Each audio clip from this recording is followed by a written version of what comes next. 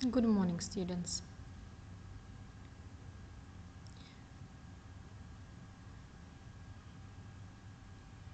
Today we are having microbiology lecture number three.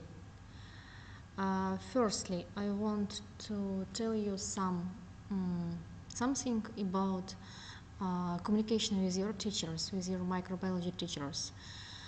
Uh, every time, every time you may get uh, information on the portal uh, from the day portal is available for you so you may uh, look for uh, some information there. For example you may uh, find uh, the link for zoom classes or you may find the link for lectures i remind you i remind you that lectures lectures are explained in youtube live uh, recording of lecture is uh, saved for some time. You must write your lectures in your lecture copybooks. The link for all lectures, once more lectures are given for all groups in YouTube.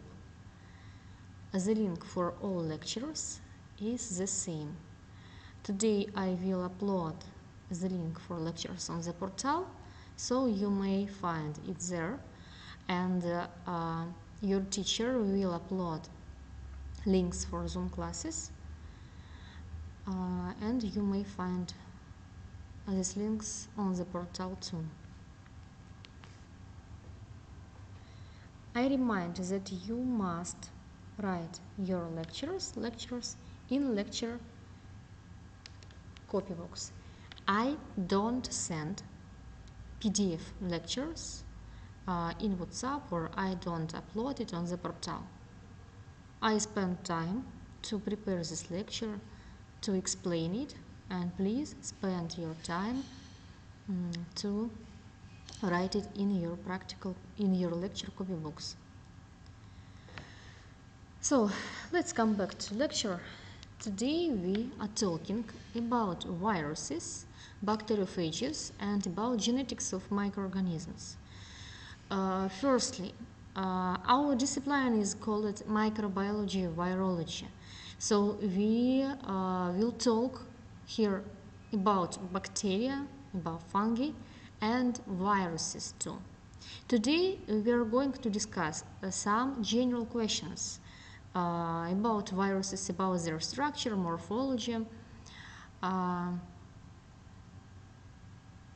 next semester next semester uh, we will talk about uh, general viruses uh, that cause infections in human about their diagnosis so today we are talking about um, some general questions and uh, we also should discuss uh, genetic of microorganisms how uh, what about genome of bacteria and viruses and how is it used in microbiology because it has a great role. It has a great role uh, in microbiology and in medicine in general.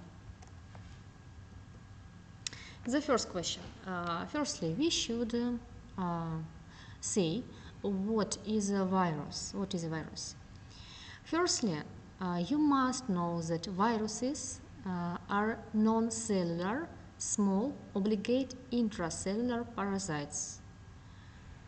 Uh, you can see that there are some difficult words maybe for you. Non-cellular, non-cellular means that they don't have a cell organization. If you remember, uh, cell organization means uh, characteristics that are present in any living cell, in human cell or in bacterial cell. Viruses don't have any uh, cell characteristics like cell membrane, uh, then um, metabolism. They don't have cell, cell organization. Uh, they obligate intracellular parasites. From biology, you must remember that parasites these are organisms that require living host cells. They can live just, they can replicate just inside living cells. Living uh, human cells, bacterial cells, uh, animal cells or plant cells. Intracellular, they are present intracellularly uh, inside the cell. So viruses need living cells for their replication. If there are no uh, any living cells, viruses are viruses die finally. Another main uh, property of viruses is that they contain contain a single type of nucleic acid, either DNA or RNA.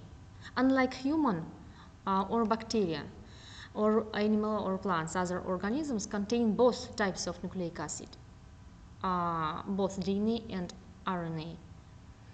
Um, virus contains just one type. Uh, viruses also contain protein codes that surround the nucleic acid. Um, then I will show you in the diagram. They multiply inside living cells by using the synthesizing machinery of the cell. What does it mean? Viruses don't produce their own enzymes. They are not able they are so simple. They have so simple structure that they are not able to produce their own enzymes. Uh, they don't have their own metabolism. So uh, they need living cell living cell to uh, synthesize to synthesize their uh, components Viruses cause the synthesis of specialized structures that can transfer the viral nucleic acid to other cells. Uh, they uh, cause synthesis of uh, some enzymes or substances in human cell uh, and these specialized structures uh, take part in uh, transferring of nucleic acid to other human cells. Virus. Viruses can be present in two types in two types. The first one it is virion. Virion it is a viral particle containing nucleic acid surrounded by protein. It is extracellular state. What does it mean? For example when um, if we are talking about influenza virus when patient you know that influenza is transmitted in coughing uh, via airborne transmission uh, in coughing, in speaking, uh, when uh, droplets droplets are uh, spread from mouth. So these droplets contain virus. So influenza for example virus uh, is spread by virions virus it is a particle that uh, infect another patient another person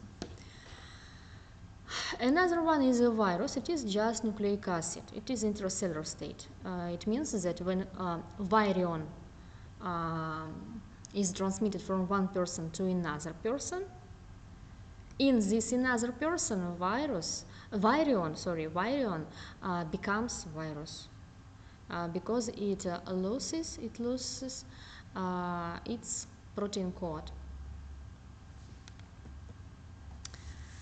Uh, the next question, classification of viruses. There are some types of classification. The first uh, classification is uh, based on the type, by the type of nucleic acid. I've said that viruses contain, that viruses contain just one type of nucleic acid, um, DNA or RNA. So in this diagram, in this diagram, you can see um, various types of uh, viruses. Uh, the first one, the first one, these are DNA viruses. DNA viruses. DNA viruses, naked DNA viruses. I explain, I will explain later what a naked virus mean.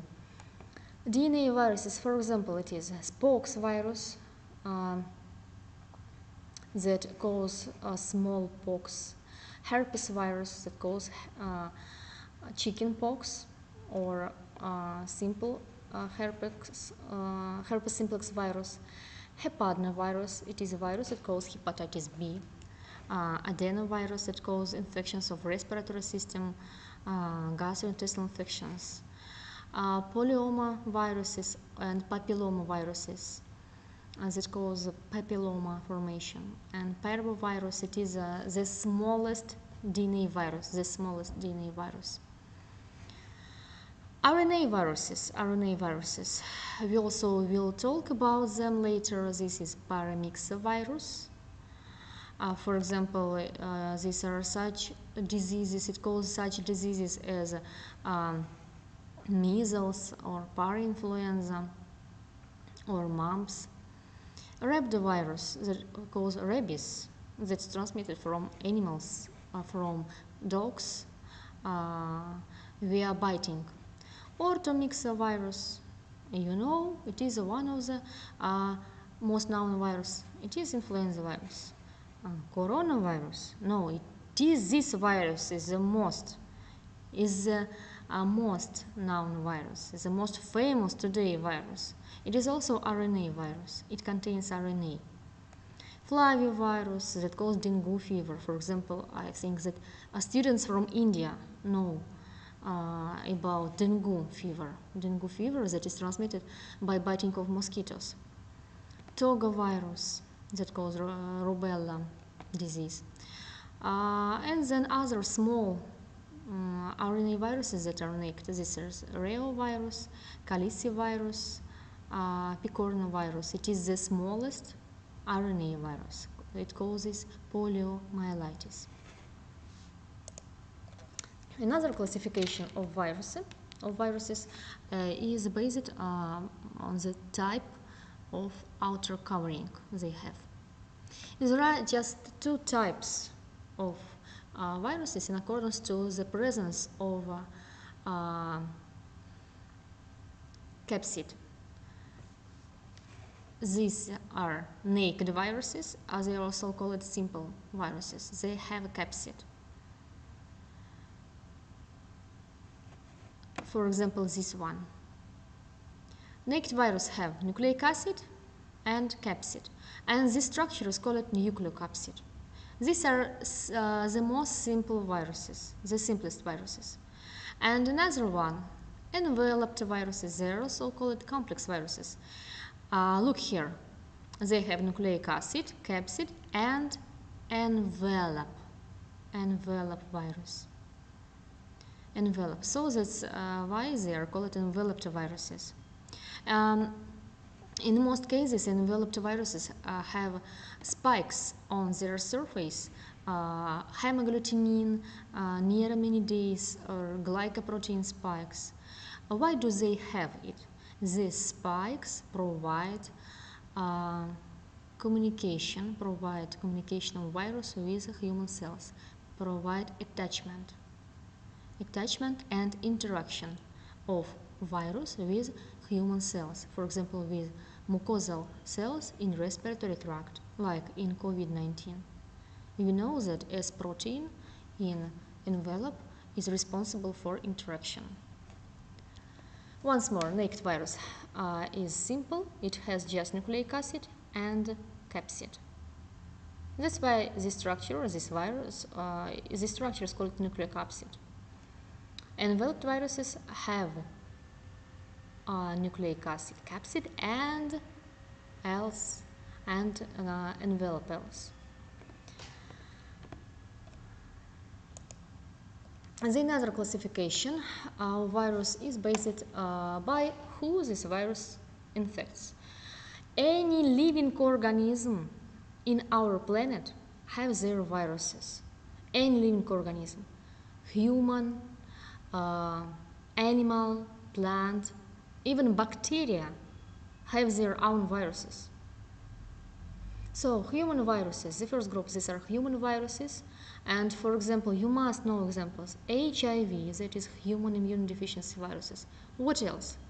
I think that you know uh, examples of human viruses. A lot of hepatitis A, B, C, D, E, coronavirus, influenza virus, and so on. Uh, the another group of viruses is these are animals viruses that infect animals. For example, rabies that is transmitted by biting of dogs. Uh, plants viruses that infect plants. For example, tobacco mosaic disease virus. Um, by the way, tobacco mosaic disease virus was the first virus that was discovered. Um, firstly, it was uh, not known that uh, this is a virus where when it was discovered because uh, uh, at the time there were no um, there were no methods methods to see virus or to uh, study them. And the last one are bacterial viruses that infect bacteria. These viruses are called bacteriophages. Bacteriophages are viruses that infect bacteria. Uh, in other classifications, in other classifications based um, on symptoms that are on symptoms and infected organs and tissues. Uh, the first group uh, is dermatotropic viruses. Dermatotropic. Uh, derma means skin, so we can say that these viruses infect skin. Uh, they uh, cause lesions of skin and mucous membranes, for example, chickenpox. Pneumotropic viruses, pneumotropic viruses. We can say that such viruses, such viruses cause infection and destroy and infect uh, organs of respiratory system. For example, influenza and parainfluenza. Neurotropic viruses we can understand that they infect uh, central nervous system, like encephalitis. And uh, viruses, viscerotropic viruses infect internal organs, internal organs. For example, hepatitis viruses that infect liver and infectious parotitis uh, that uh, infect parotid, parotid glands, especially in children. Uh, then, then we should talk about morphology of virus. Morphology of virus. I have started to talk about it. Let's look at these diagrams. Uh, in the left diagram, in the left diagram, we can see structure of naked virus. I have said that naked virus consists of nucleic acid and capsid. Capsid, capsid uh, is composed of capsomeres. Capsomeres, these are units units that um, form capsid.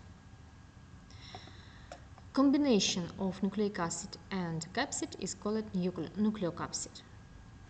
It is present just, uh, it is a, a name for, another name for a naked virus.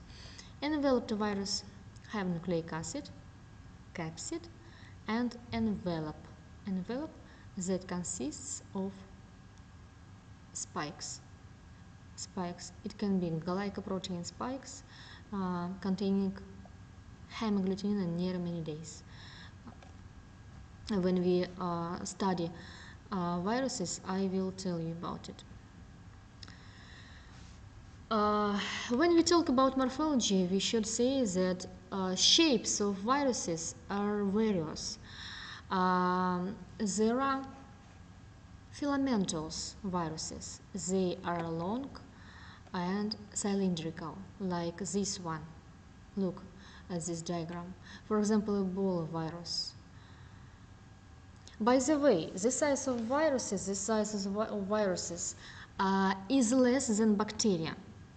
We can see bacteria if we use a light microscope with a measuring objective. So size of bacteria, size of bacteria uh, is uh, evaluated in micrometers, micrometers. For, for, for example, from uh, 1, 2 micrometers, micrometers up to uh, 7, 8 micrometers for most bacteria.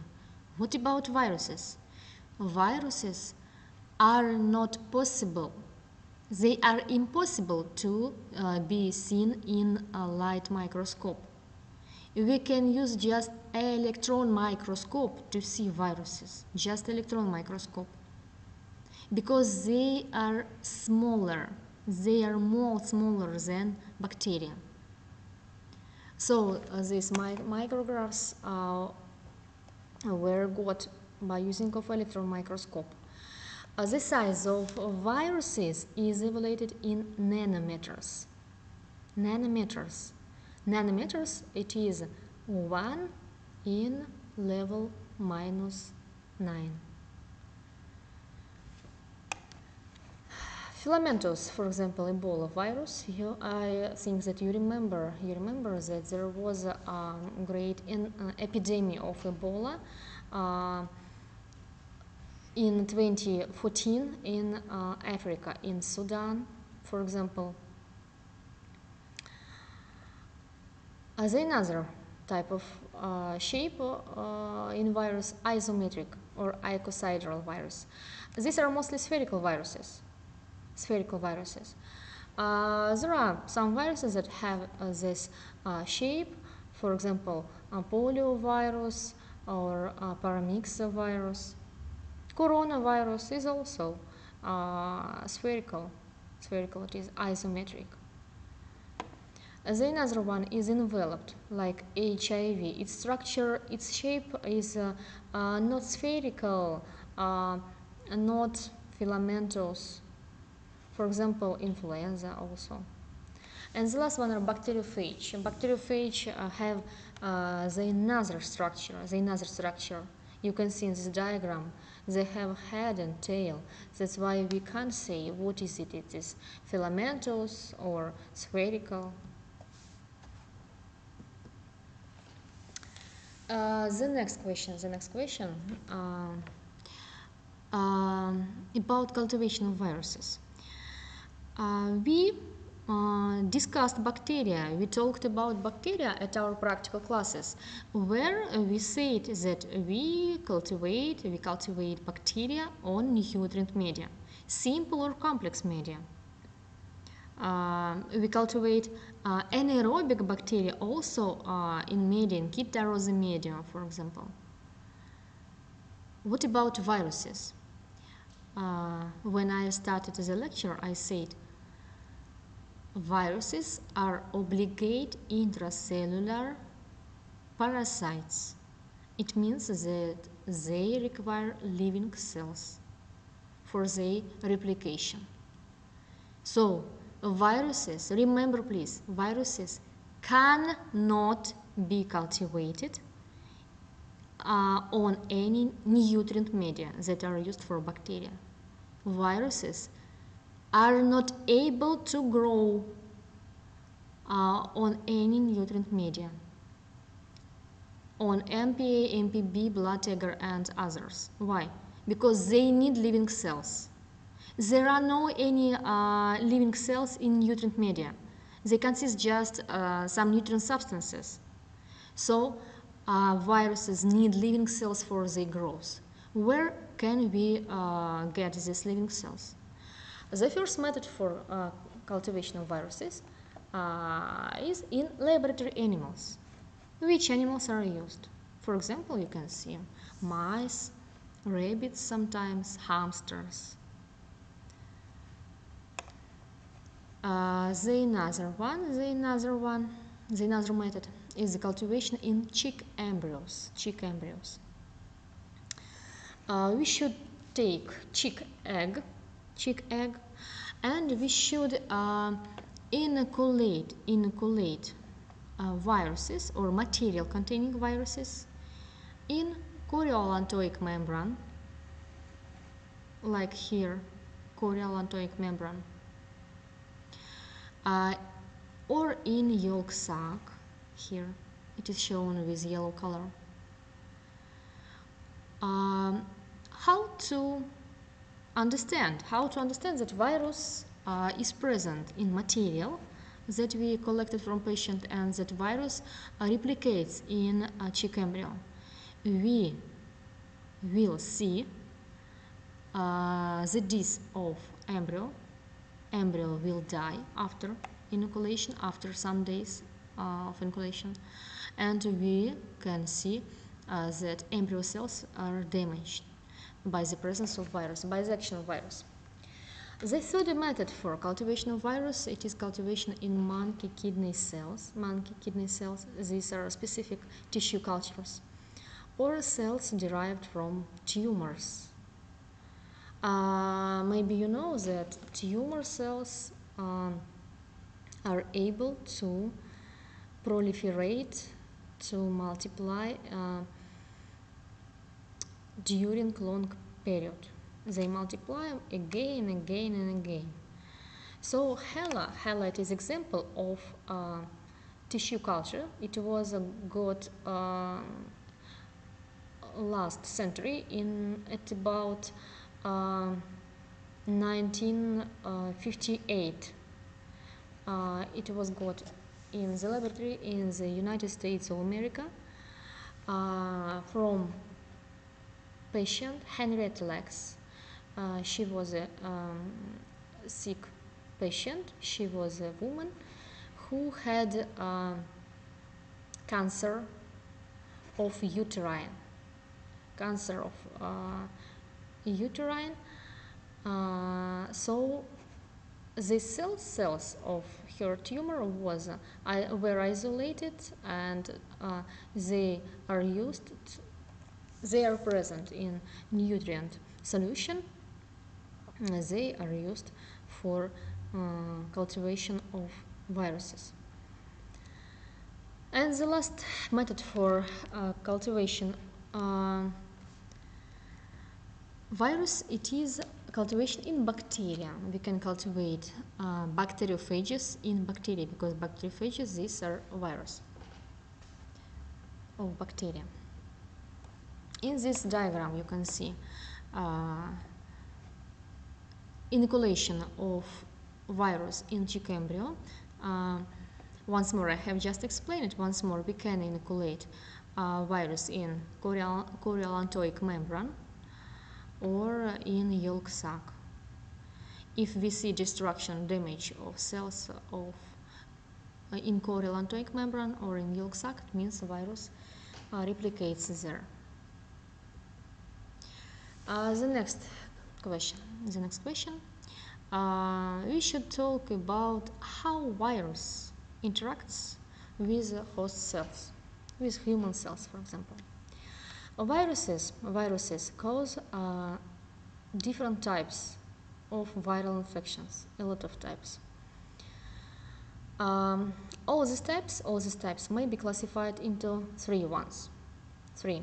The first one is a productive viral infection, productive. When virus lyses their host cells after penetration and replication and reproductive cycle. It means that virus uh, infect human cell and uh, destroy this cell. Well, for example, what are these viruses? These are most infections that patients have. In coronavirus, we know that virus replicates in mucosal membrane of nasopharynx, destroyed, in uh, uh, mucosal membrane of throat and then in lungs.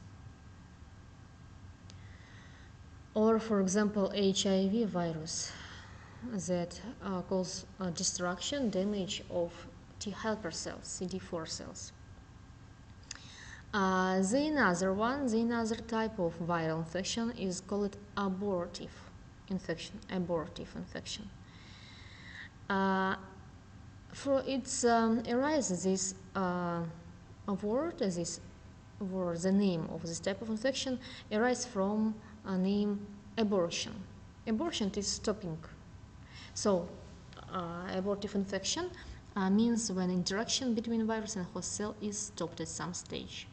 Some factors uh, can act at this interaction. That's why this interaction is stopped. And infection doesn't develop then. And the last one is virogenia. Virogenia is a type of viral infection when a virus viral genome is integrated in host chromosome and host cells are alive. Viruses integrates its RNA or DNA into human genome and viral genome uh, is present in human cells during long period. Such viruses cause long chronic infections that lasts uh, during some months, even some years. What are examples? For example, these are hepatitis B virus. Hepatitis B virus uh, has one defective chain, uh, DNA chain. So uh, this virus integrates its chain, this chain, uh, in human uh, genome, in liver cells, in hepatocytes. So liver cells are um, liver cells multiply, and uh, every new format liver cell have has a viral genome. It causes a long chronic hepatitis B. Uh, when virus enters the human organism, the human cell, um, the main, the main thing that virus must do is replication. Replication. By the way, viruses uh, don't want to uh, kill human cells. They don't want to kill human cells. They need living cells for their replication. Uh, but uh, human cells are destroyed by action uh, of, of, after replication. Uh, the main process, the main process, the main purpose of any virus, the main purpose of any virus is replication. It is formation of new viruses, formation of new viruses. And viruses need human genome for this purpose. Once more, viruses need human genome to replicate, to be replicated. Uh, we know that uh, viruses consist of uh, just one type of nucleic acid, so there are some differences, some differences in replication of such of uh, different viruses. If virus, uh, now I'm going to tell you about transcription and replication of viral genome. It means how uh, genetic information is transferred from uh, nucleic from viral nucleic acid uh, into human up to protein synthesis. Uh, if we are talking about DNA viruses, DNA viruses uh, must form matrix RNA and then protein synthesis in human cell occurs. Uh, genetic information is translated from matrix RNA. Maybe you don't know you must uh, remember about it. What is the main purpose? What is the main purpose of uh, transcription and translation and transcription process? The main purpose it is synthesis of protein. Protein is present in capsid of virus. So uh, virus need uh, uh, viruses need to form new proteins for their capsid formation. DNA, uh, it is a nucleic acid that consists of genes. Genes, uh, every gene, every gene. Gene, it is a, a, chain of DNA that consists of information about synthesis of one protein type.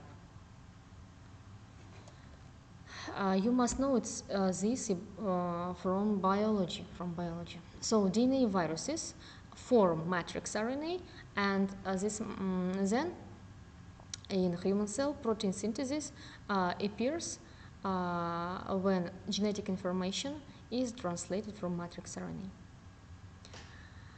Uh, there are uh, RNA viruses with negative strand or um, minus sense. Negative strand RNA have process of transcription that is similar to DNA viruses. They also must form matrix RNA and then protein synthesis occur when genetic information is translated from matrix RNA. For example, these are influenza virus.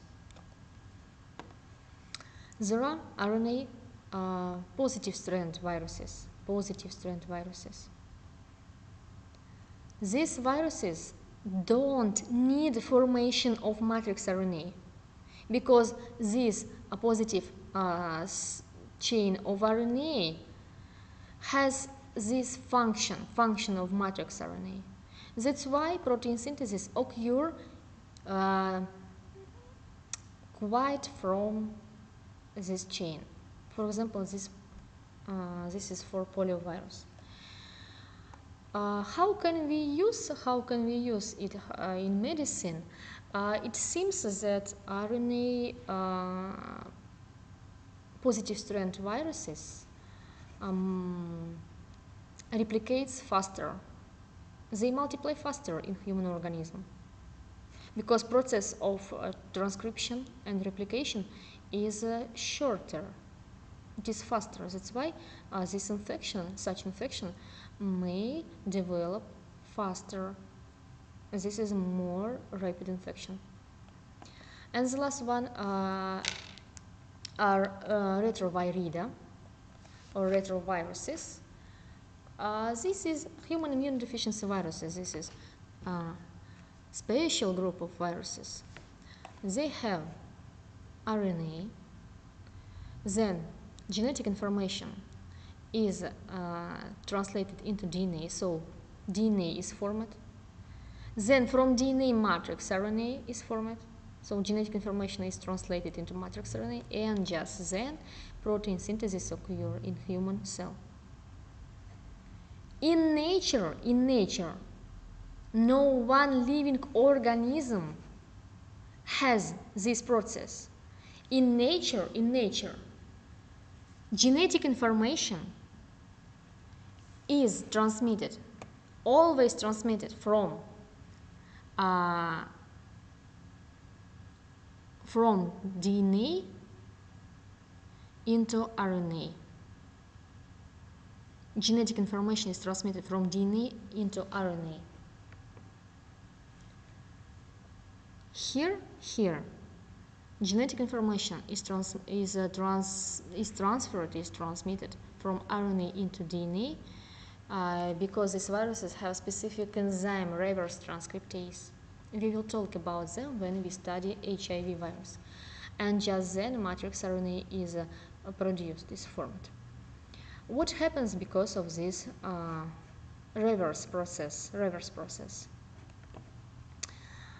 Uh, when HIV virus is replicated, there are a lot of errors or mistakes in genome. So HIV virus is very changeable. It is very variable. That's why that's why uh, today it is so difficult to uh, produce to synthesize a vaccine against HIV. Every time, virus is very changeable.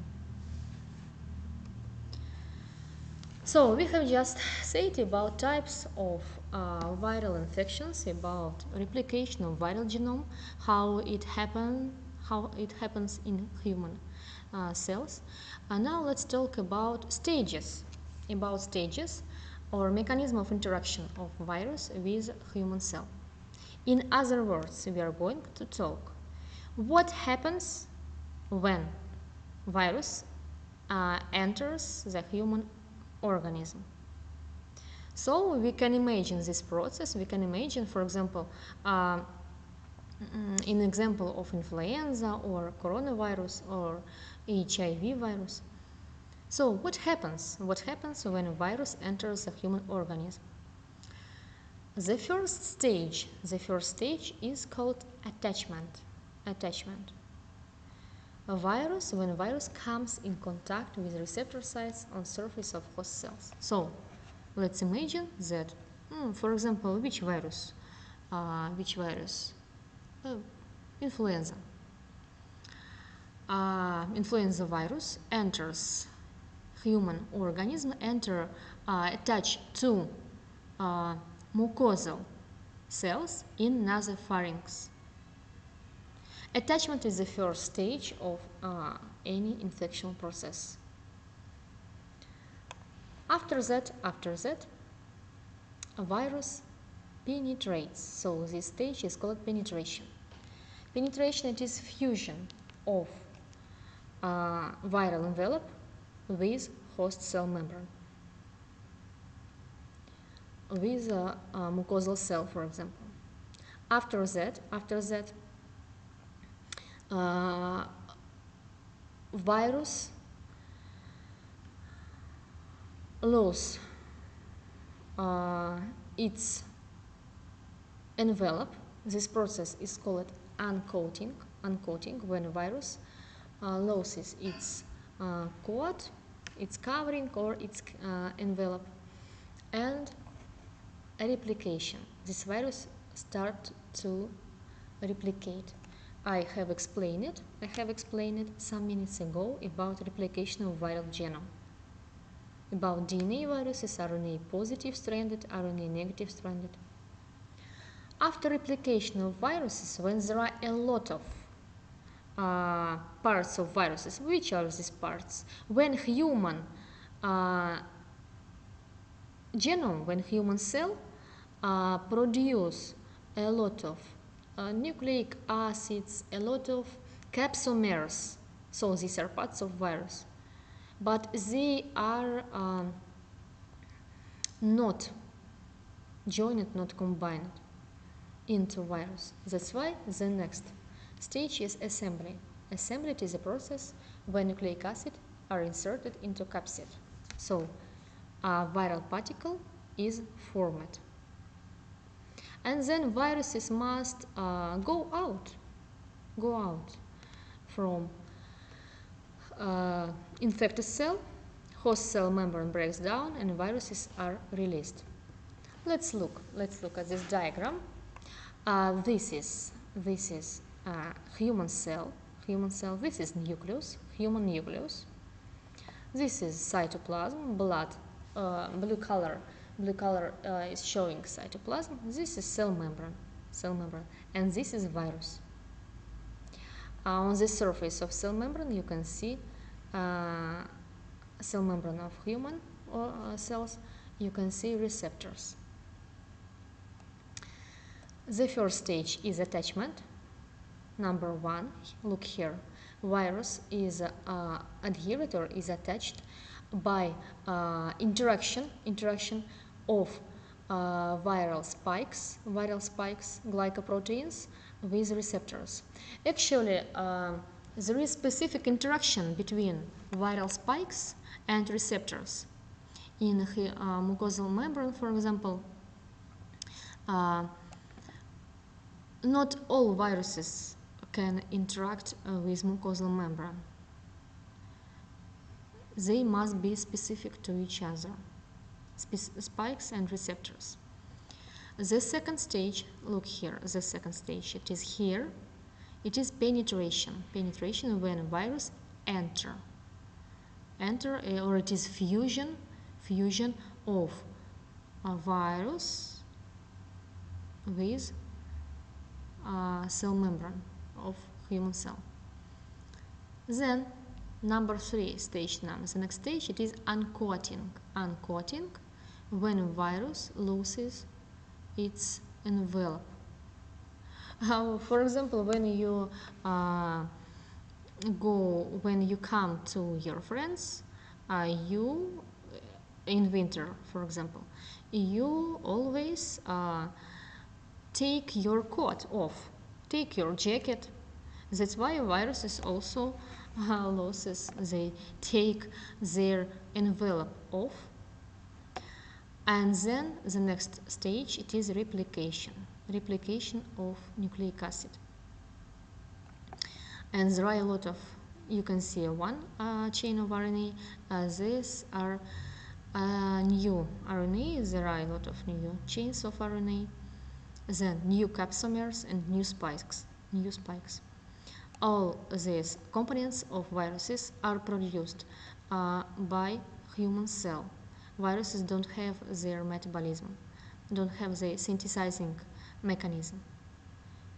They just uh, do it with using of human metabolism. When they um, because uh, this information, this information, genetic information is present in nucleic acid. Uh, the next stage is assembly. Assembly uh, when uh, all parts of viruses are joined, are combined, and they form uh, viral particle. And release it is when virus uh, comes out from human cell. Uh, viral infections can be transmitted by different ways, different transmission ways. Uh, what are these ways? For example, airborne transmission. It is transmission through air via droplets. It is influenza, coronavirus, parainfluenza. Foodborne or waterborne transmission. When a virus is transmitted through food, when food is contaminated or water, when a uh, patient uh, uh, drinks infected water, like hepatitis A. Sexual transmission. It is transmission in sexual contact when man or woman is infected with uh, any viral infection like human immune deficiency virus or hepatitis B. Um, direct contact transmission uh, in kissing, for example, or in touching to each other. For example, herpes viruses. Herpes viruses is transmitted in kissing, uh, smallpox. Then parental route transmission. Parental route transmission. It means parental means uh, transmission uh, through uh, via through blood contact syringe or medical instruments when they are infected, or from mother to fetus. So uh, this is transmission, um, we can say transmission with uh, blood, with infected blood. And the last one is insect-borne transmission. Insect-borne transmission via bites of insects. Please, please don't tell about malaria. Malaria is not viral infection. Malaria is a protozoan infection. We don't study protozoan microbiology. We study viruses, bacteria, and fungi. So, it, for example, it is a tick-borne encephalitis. Tick-borne encephalitis that is transmitted by biting of insects, ticks. I've said that um, any living organism has their own viruses. A human can be infected viruses by viruses, animals, plants, and bacteria. Bacteria also can be infected by viruses. Uh, viruses that infect bacteria are called bacteriophages. Uh, bacteriophages. Mm, in this diagram, you can see a structure of bacteriophage. Uh, this structure is called head. Head this is collar collar this is tail tail. These are long tail fibers long tail fibers that interact that attach bacteriophage to the surface of um, bacterial cell. And this is this is base plate. Base plate consists of enzymes enzymes uh, to destroy, to lyse uh, bacterial cell membrane. There are two uh, types of bacteriophages, two uh, extremely different types of bacteriophages. The first one are virulent bacteriophages. They infect bacteria and cause the death of bacterial cell. Virulent. Um, and temperate, temperate bacteriophages, they don't kill bacteria, they don't cause death of bacteria, they integrate its uh, nucleic acid DNA with the bacterial chromosome. So we have just said about viruses and now I'm going to tell you some questions from genetics of microorganisms. Um, some questions, some questions are uh, connected are related, are related. Some questions in genetic of microorganisms are related with viruses. The first one, uh, the first one, uh, we should talk about uh, extrachromosomal genetic elements in bacteria. Extrachromosomal means these are uh, genetic elements, these are genes, this is genetic information that is not present in chromosome, that is present uh, in, in other sites. Firstly, I want to remind you, I want to remind you that genetic material of bacteria, these are plasmids and DNA. DNA, it is a, a double-stranded DNA that is called nucleoid. Bacteria don't have nucleus, they are prokaryotes. So uh, they have double-stranded circular DNA and they have plasmids. These are circular DNA chains. Circular DNA chains. Uh, what about plasmids? What about plasmids? Plasmids, uh, firstly, these are extra chromosomal genetic elements. These are additional, additional genetic information in bacteria. These are circular, circular extra chromosomal genetic elements. They are capable uh, of autonomous replication. They, um, it means they are able to be replicated without bacterial DNA. Its replication doesn't depend on bacterial DNA. Uh, they are smaller than bacterial chromosomes, smaller. And there are some types of plasmids, they provide different functions. The first one uh, are F plasmids, F plasmids. They provide conjugation. What is conjugation? Uh, maybe you know, and I will explain it later. F plasmids, if there is uh, F plasmid uh, in uh, bacteria, uh, this bacteria is called F positive. It is considered as a um, male. If there is no F plasmid, uh, it is called F minus. It is considered as a um, female. R plasmids is another type. R plasmids provide resistance. Resistance, R plasmids, resistance to antibiotics.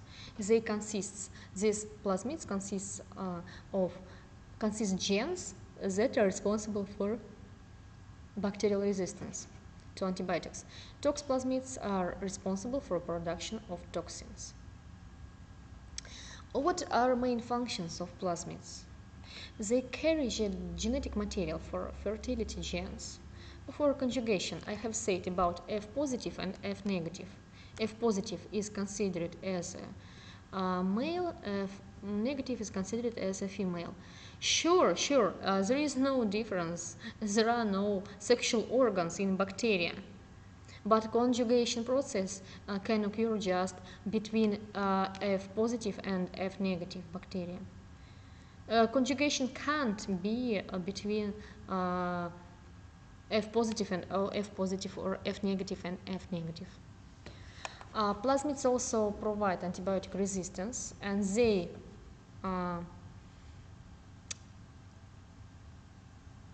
consists of genes for, for resistance and uh, they uh, carry genetic material for, for production of most bacterial exotoxins. Another genetic elements, another genetic elements are transposons and insertion, uh, insertion sequences. Uh, they are smaller than plasmids. These are also segments of uh, DNA they are able to move from one location to another in cell inside bacterial cell. They are not self-replicating genetic elements. They can be replicated just together with um, bacterial chromosome uh, or plasmids. They determine production of toxins resistance to antibiotics in bacteria too because they also consist uh, nucleic acid. They consist some uh, nucleotides they carry some genetic information, but they are smaller. And insertion sequence, insertion sequence are the smallest genetic elements. They are just short chains of DNA. They are non-self-replicating genetic elements. They need mm, plasmids or bacterial chromosomes to be replicated and they cause mutation in bacteria. Uh, why do we study? Why do we study plasmids? Why do we talk about plasmids, transposons, and insertion sequences?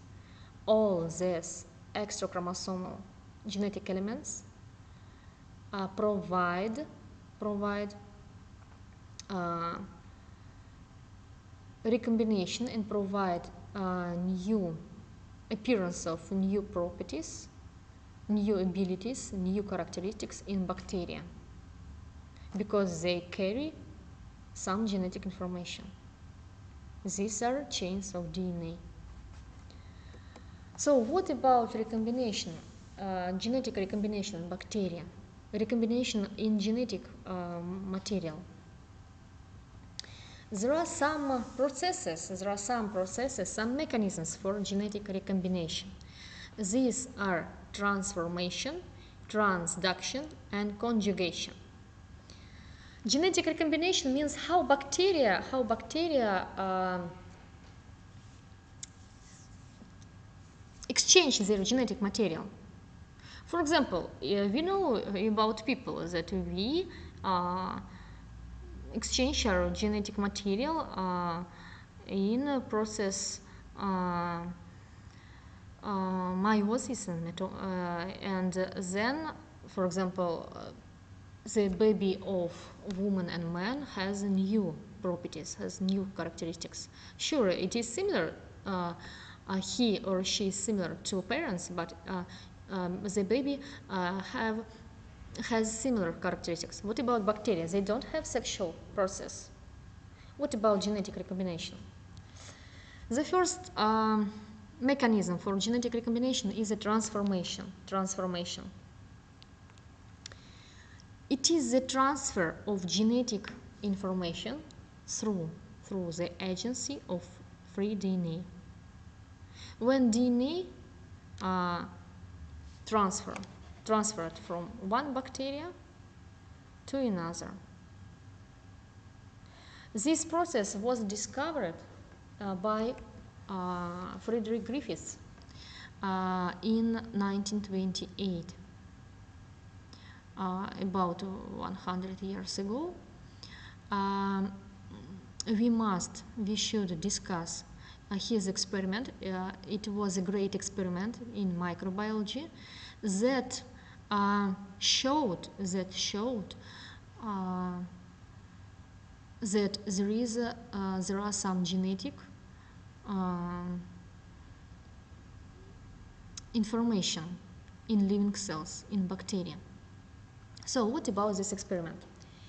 Uh, Frederick Griffith used two strains of pneumococcus. Pneumococcus, it is a bacteria Streptococcus pneumonia uh, that infect mice.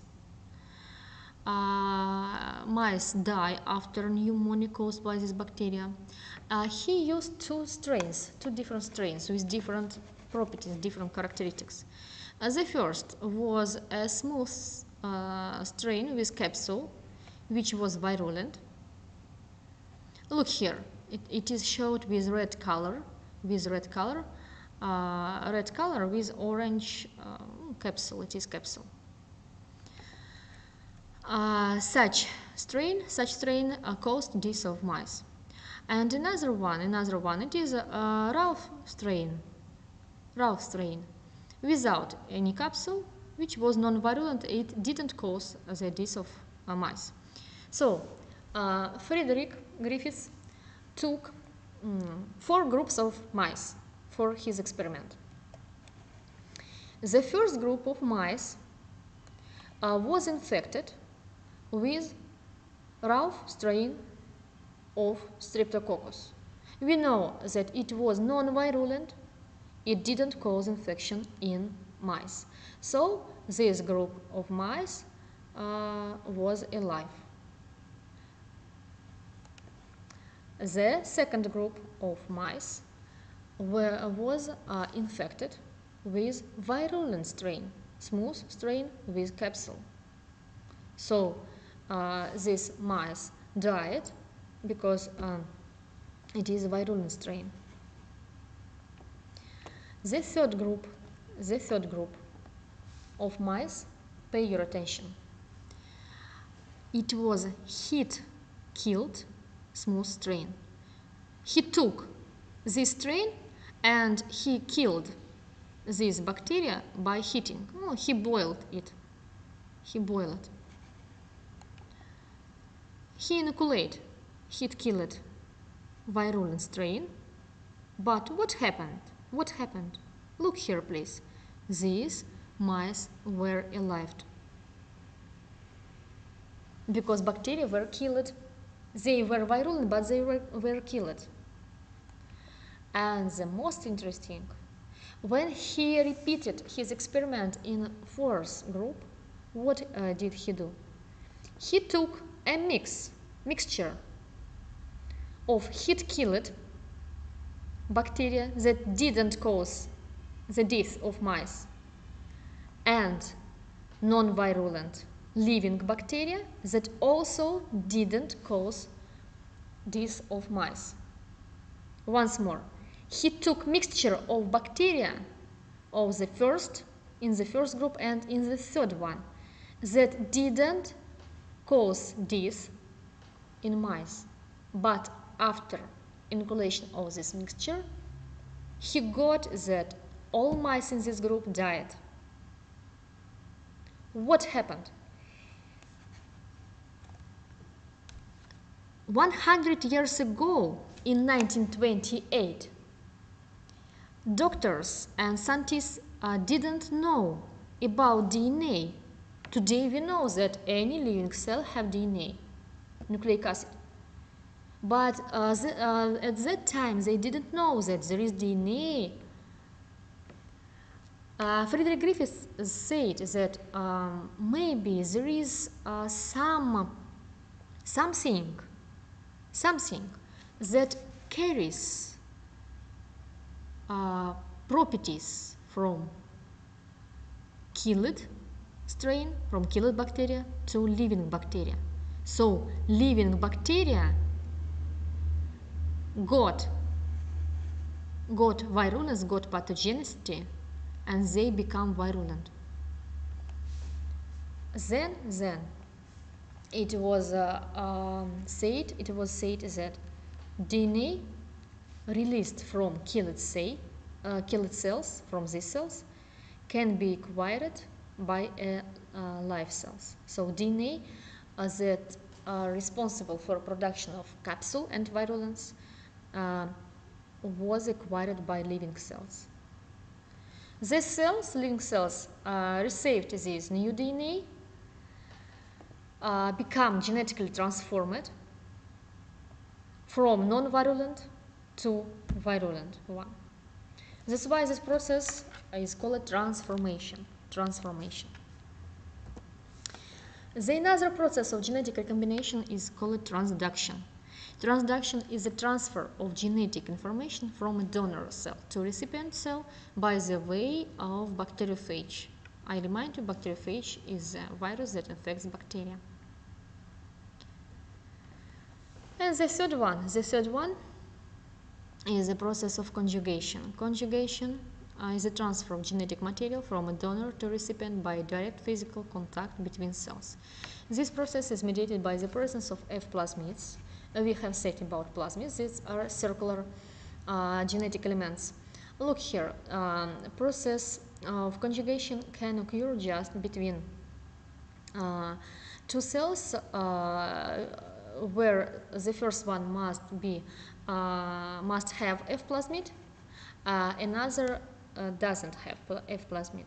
So this cell is called a donor cell. It have it has F plasmid. Uh, F plasmids uh, provide uh, formation of pilus or fimbria. If bacteria have if bacteria have F plasmids, they are able to form pilus. Uh, we have uh, talked about it in the first le lecture. Fimbria or peeling. Pilus. So uh, another cell is a recipient. It doesn't have um, F plasmid and fimbria or pilus.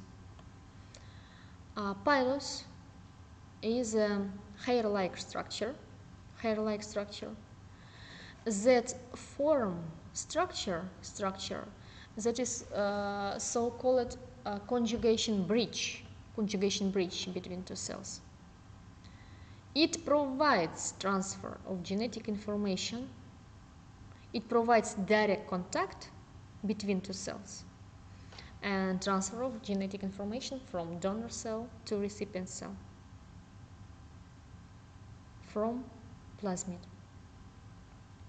And uh, new recipient cell become new donor cell it uh, got it gets uh, F plasmids and it uh, can form pilus but we should say that um, in conjugation process in this process just some uh, few genetic information can be transmitted.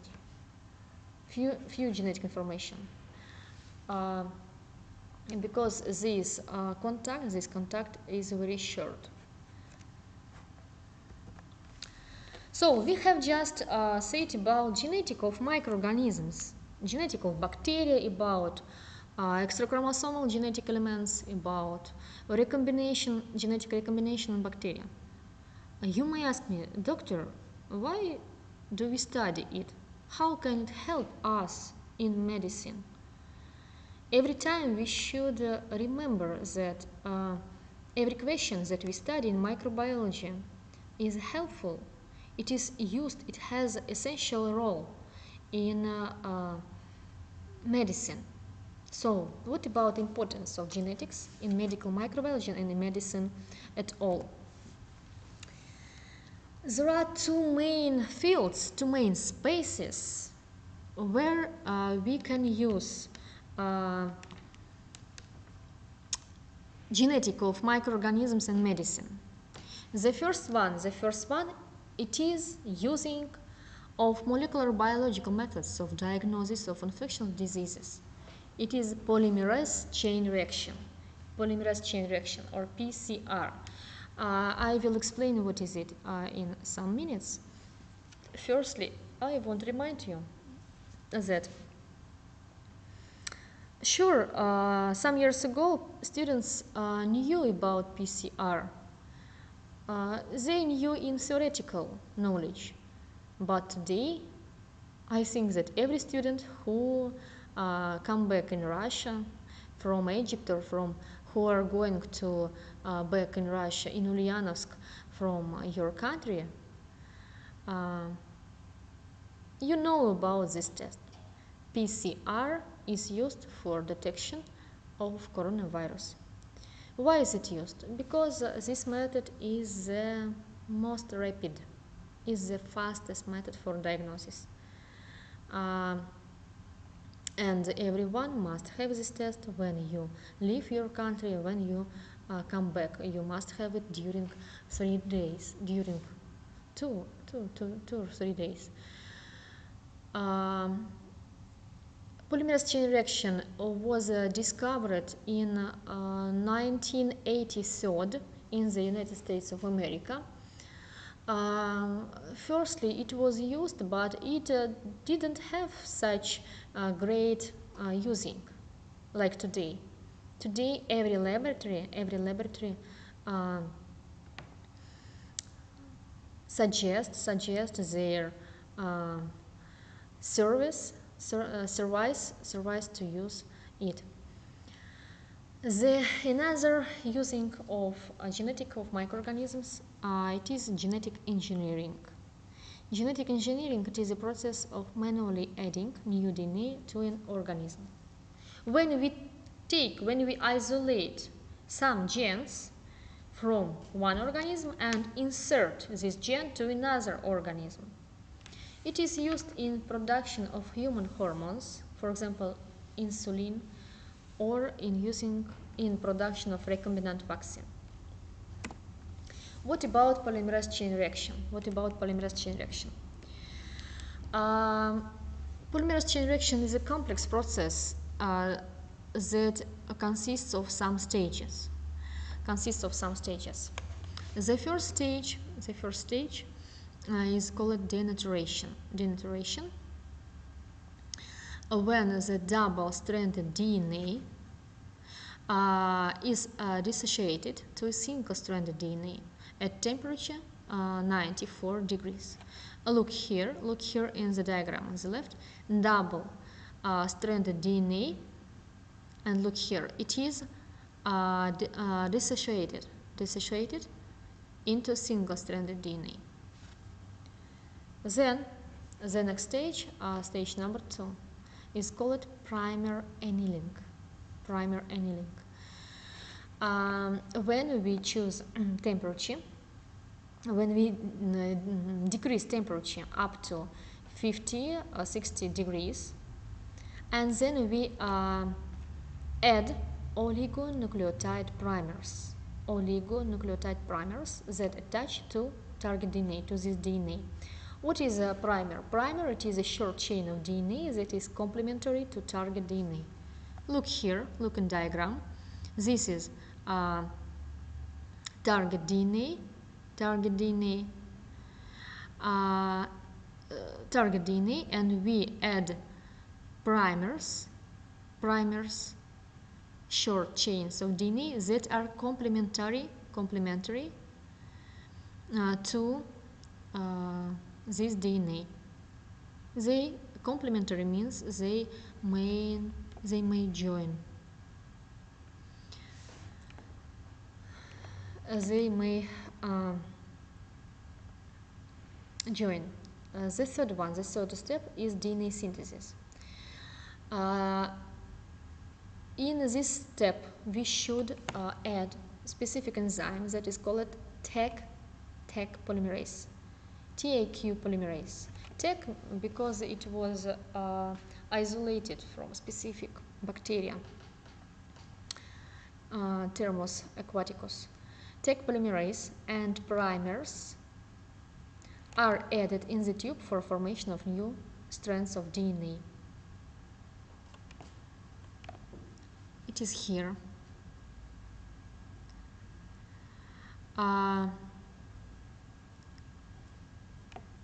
After primer annealing, one copy of DNA uh, has become into two copies.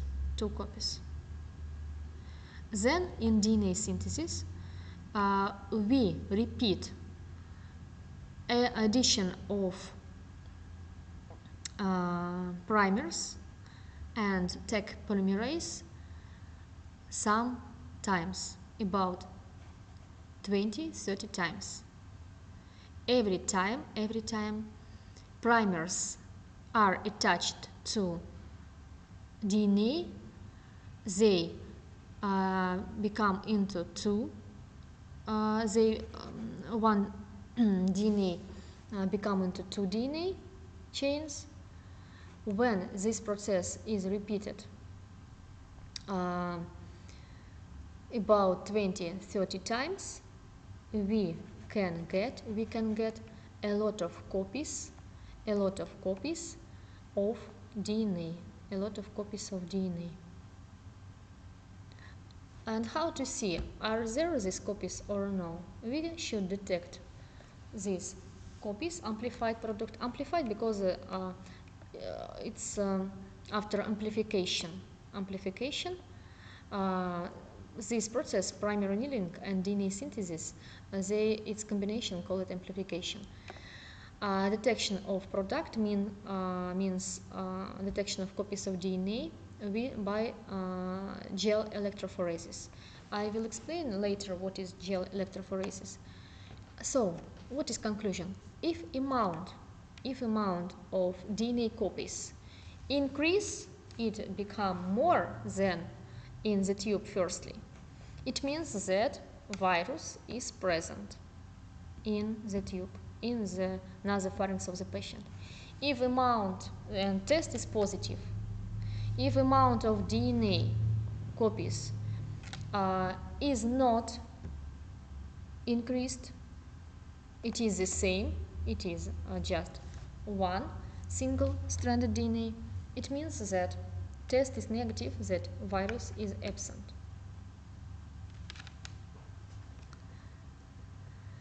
The another using of uh, genetic of microorganisms in uh, medicine, it is production of uh, hormones, some hormones, for example, insulin. Um, I hope you know what is insulin. Insulin is a, a hormone that uh, ferment glucose in human blood. Insulin is produced by pancreas in human organism, but uh, there are today there are a lot of patients who have disability uh, in production of insulin, and they got diabetes disease. Diabetes when patient's pancreas is not able to produce insulin. Um, some years ago, insulin was isolated from uh, large animals, from pancreas of large animals, for example, uh, horses. Horses. Today we um, got insulin. We get insulin uh, by using of genetic engineering methods when uh, we isolate uh, from human chromosome from human chromosome gene that is responsible for production of insulin. We take we take uh, this gene and insert this gene into um, any bacteria, non-pathogenous. For example, non-pathogenic Escherichia coli. Uh, we insert it in uh, its uh, chromosome. then this bacteria, this bacteria uh, chromosome or in plasmid, this bacteria gets uh, new gene, this bacteria multiply into two bacteria, every bacteria has new gene. These two bacteria multiply into four bacteria. Every of these bacteria have uh, this gene. So bacteria gets new gene. So this bacteria starts starts to produce insulin. Sure, uh, it is uh, made. It is made not in the tube. It is made in large volumes. In large volumes, insulin then is mm, must be uh, isolated from cultural media, from nutrient media, where bacteria are cultivated. And the last using of uh, genetic of microorganisms, uh, it is a using of recombinant vaccine. Recombinant vaccines are produced using recombinant DNA technology. Uh, recombinant vaccines are those in which genes for desired antigens of a microbe are inserted into a vector. Look here. The example of recombinant vaccine, it is hepatitis B vaccine. Hepatitis B vaccine was the first vaccine that was prepared with using of this technology. Today, today we know that uh, vaccines against uh, COVID-19 are produced uh, with using of recombinant technology. What is this technology? Uh, for example, for hepatitis B vaccine. Hepatitis B vaccine have a, a surface antigen that is called HBS antigen, surface antigen. Uh, this antigen uh, plays essential role, essential role in uh, pathogenesis of hepatitis B, in destruction and damage of liver cells. So, uh, we don't need whole viral particle in vaccine against hepatitis B. We need just this surface antigen. How to take, how to isolate this antigen from viral particle? We can isolate gene from, from viral genome that is responsible for production of surface antigen we insert this gene into plasmid and then uh, place it into bacterial cell or yeast cell. Bacterial cell or yeast cell that uh, has new gene start to starts to produce uh,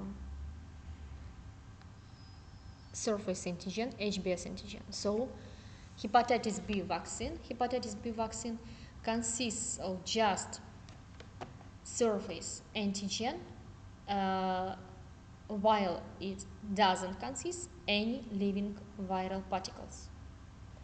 Recombinant vaccines are the most safest vaccine among all vaccines. Uh, uh, hepatitis B vaccine is injected is injected into um, human into the children at the first 12 hours after birth. Uh, when the child uh, is born, is born uh, the at the first 12 hours after birth, uh, every child must be vaccinated against hepatitis B vaccine in every in any country from all over the world because this vaccine is the most safest. I have said that today uh, these vaccines, such vaccines, uh, were produced against COVID-19 for example for example in uh, Russia in Russia this is uh, Sputnik uh, V it is a recombinant vaccine. Uh, in other countries for example uh, it is uh, Oxford AstraZeneca these vaccines consist just uh, surface just as protein of coronavirus. Uh, that's gene gene that is responsible for production of this gene is inserted into adenovirus non-virulent non-dangerous non-pathogenic uh, adenovirus that is used as a vector. We will talk about vaccines later later in immunology. So today that's all. That's all. Thanks for uh, your attention. Yes i can see in uh, comments that dna technology covid vaccine produced. Yes yes. Uh, it is new technology. Uh, in practical classes we will talk about it. I will ask my groups uh, i will ask my groups for example especially indian students uh, which vaccine? Which vaccine is produced? Which DNA vaccine is produced in your country? In your country. Okay I can see who is present. Who is present in lecture? Very good. Mm-hmm. very good. Thanks for your attention. Uh, prepare lecture number three for practical class number three. That uh, will start in all groups next week Goodbye. Take